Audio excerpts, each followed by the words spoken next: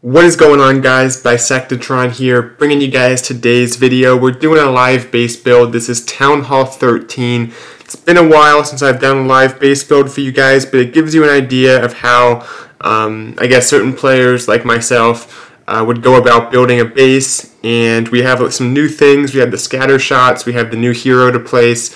There's just some new factors that you have to take into account as a Town Hall 13. So it's still hard to see what the meta is going to be exactly, but um, we can go ahead and start building bases and then always adjust them as the meta changes. So in this video, just going to be building a base in the next 15 minutes or so for you guys, kind of talking through my thought process. Um, and I, you know, the Town Hall is obviously going, it's going to look like a Town Hall 12 base because we haven't seen enough to warrant changing the meta that much. The real question is how do you put a scatter shot in the Town Hall 12 base to make it a Town Hall 13 base? And, um, you know, at, at, some point we might be, you know, defending certain Yeti strategies um, or other strategies that become popular uh, at Town Hall 13, but we just don't know quite yet what, what it's going to be.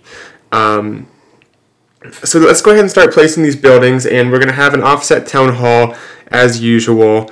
Um, we want the CC close to the Town Hall.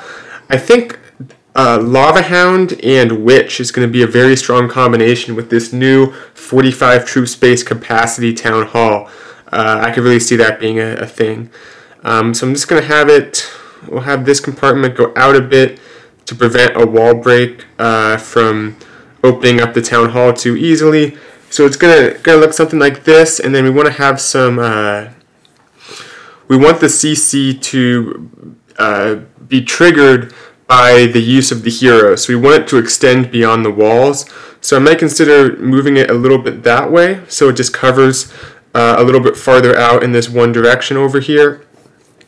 Um, we can actually move the town hall to like that because it's still covered by those walls.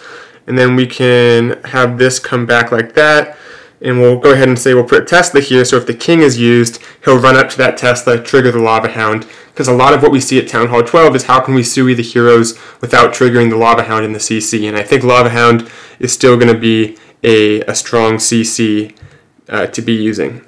Um, so I think we're going to have something like this. I like having the walls all around the clan castle. It makes the pathing kind of weird. Um, let's see, what else can we do here? We're going to probably want to place our, oh, we got a nice notification from CNN or whatever.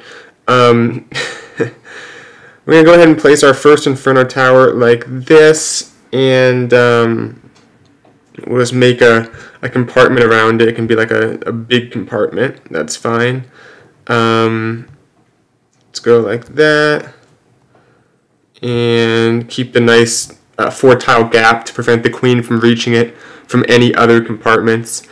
Um, so that's good. I think we want to have a central scatter shot. This is going to shoot outwards at any type of town hall entry because a, scatter shot is very directional defense. It it hits and then it kind of the ball skids and does additional damage. So I think it's good to have one central to uh, basically protect a town hall rush. Um, let's have a compartment like this and then let's have it kind of come back a little bit here, putting another multi, let's do like that.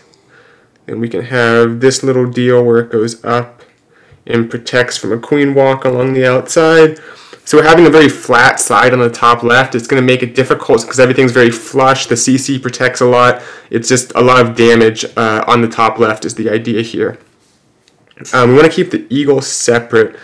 And I think a, a good thing to do is have these channels that lead to the outside of the base. And let's make one of them right like this. Um, you can have it like expand as it gets closer to the outside, uh, like that. It's a little asymmetrical, but you get the idea. This is going to uh, push Pekkas out of our base, um, prevent them from pushing deeper in.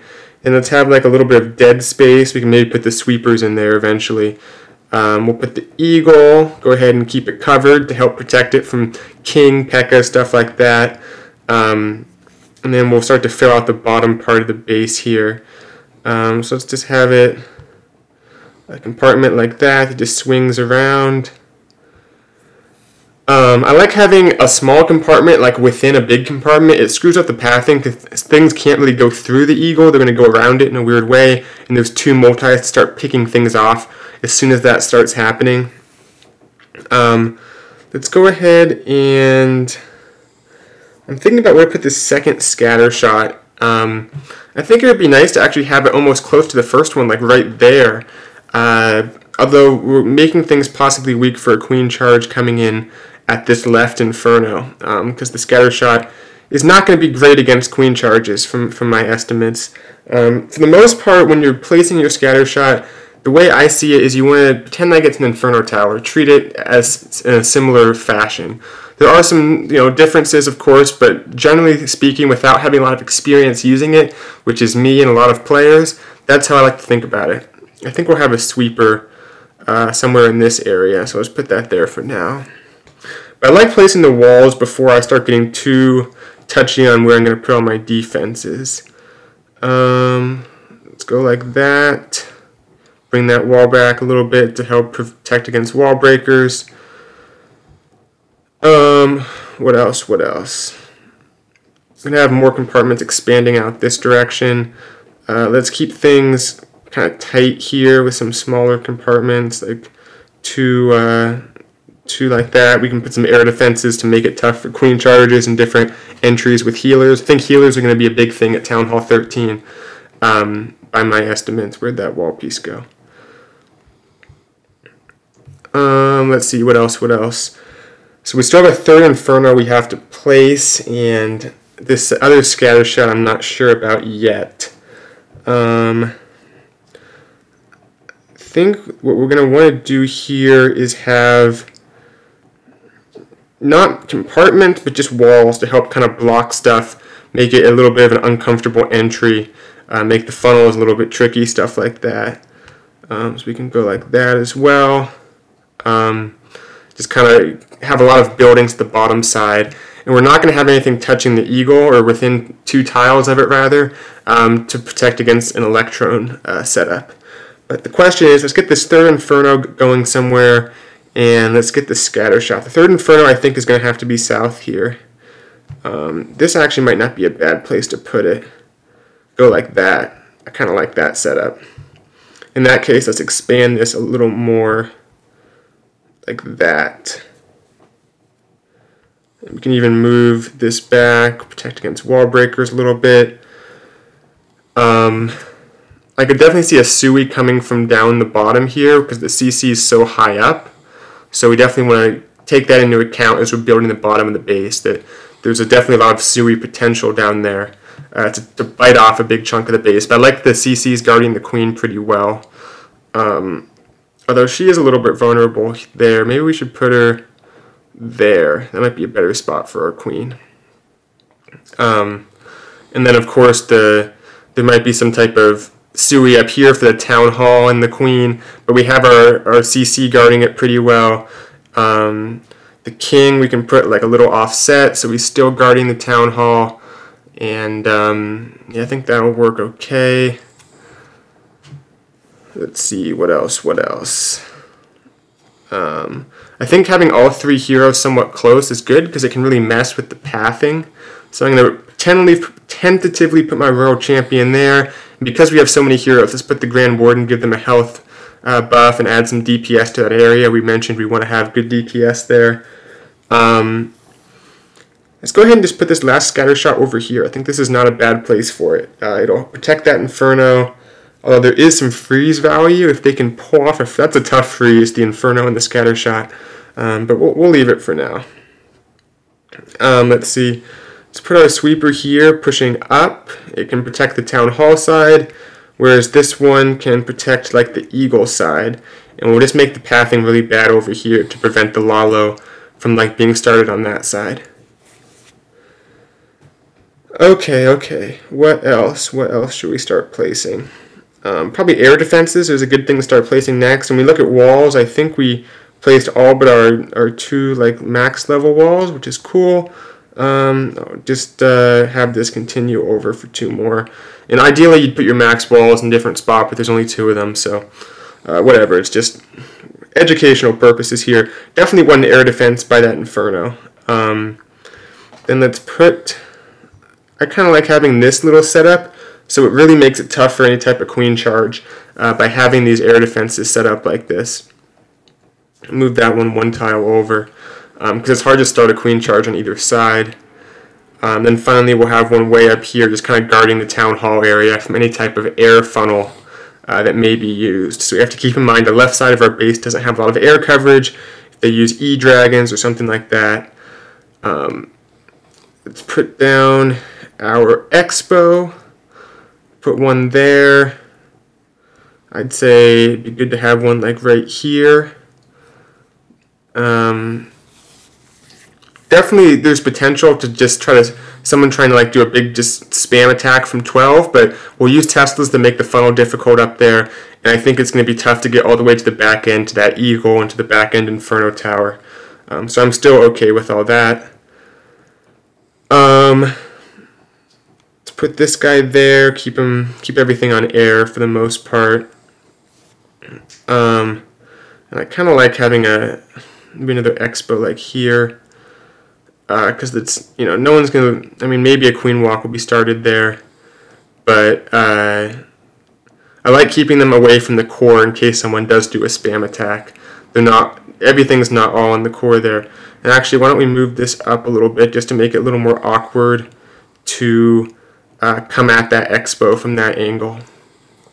Okay, I like how this is shaping up actually. Um, we'll use our traps to compensate for what yeah, might be weaknesses on this base as we as we continue through here. Uh, let's see, let's see. Keep the wizard towers just kind of spread out on the back end, kind of away from air defenses if we can, but not a big deal otherwise. Just trying to uh, prevent against bats and stuff like that. So we'll go ahead and throw one here. Um, we got things spread out pretty nicely right now. I don't think a whole lot of bats are going to be be used against us here. Um, let's see. Maybe just put the last one like there. Just go like that. Um, so we're definitely heavy on the back end, which is fine. That way people can't come with dragons from Town Hall side, uh, which is what we, we want to avoid. Um, bomb tower, protect the queen from skellies. Put the other one in this compartment. There might be a lot of ground troops kind of roaming through here. Um, once again, Eagle is kind of isolated, which is what we want. Not going to get any E-Dragon value on it. Nice sweeper pushing stuff back too. Um, the sweeper like one more tile. Let's see, let's see, what else, what else? Um, yeah, Queen Charge into that moat is definitely something we have to worry about, so we'll put Seeking Air Mines there to help us out. Let's get the Archer Towers down, get some uh, some good coverage on this base. Let me move that there so we can go like that. Um, put one up there. Probably going to want one like there. Uh, I think we'll go heavy right here with Archer Towers. Like that. Um, can have one kind of guarding stuff out there. Have one. Uh, we'll have it path into. We'll have a mortar there anyway, so it won't matter. Um, let's put like our last one like up here. Okay, looking good, looking good. Put the cannons down.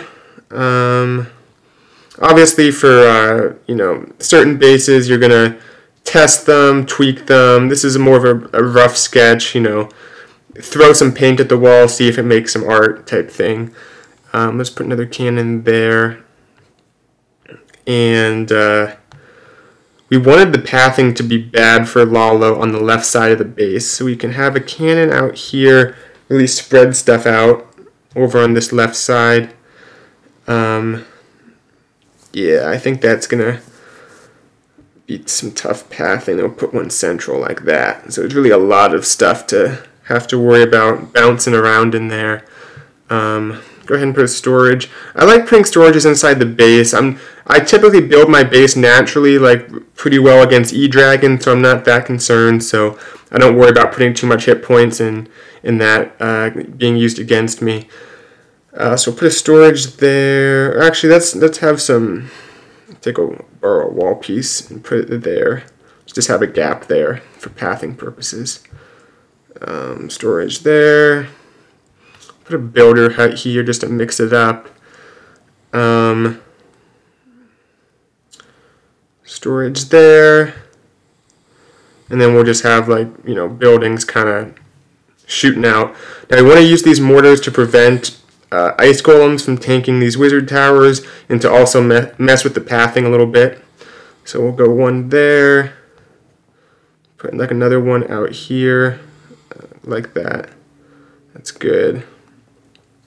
Um,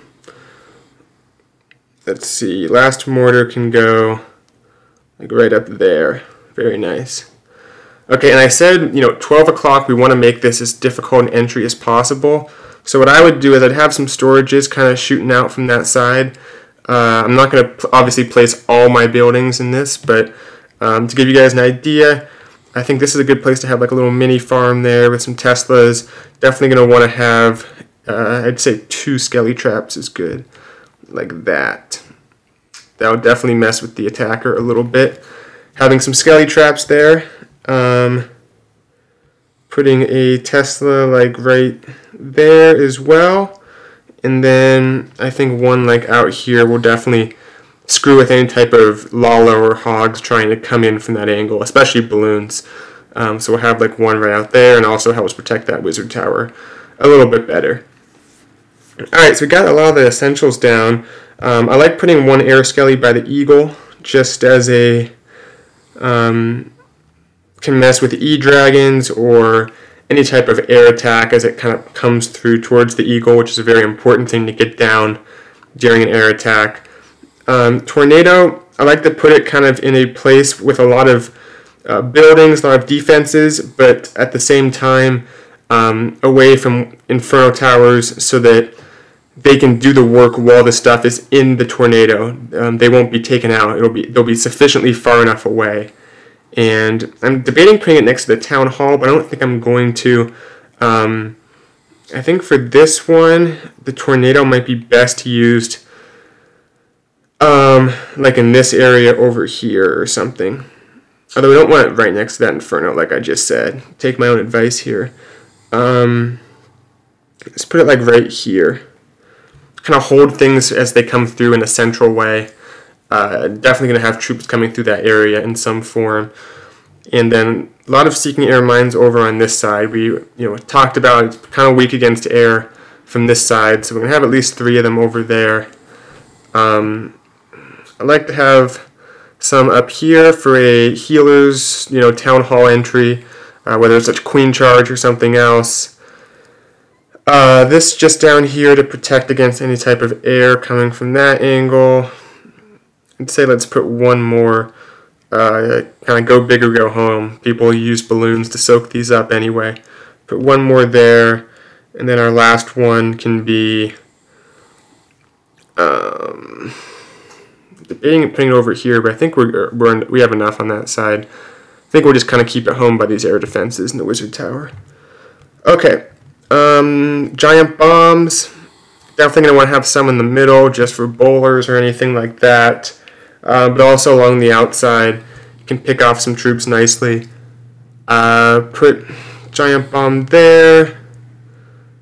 Put one there, here, and and we'll kind of put another one central.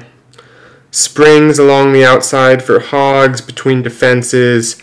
Um, this is stuff that you guys are used to at this point, but um, let's get those down definitely along the outside there.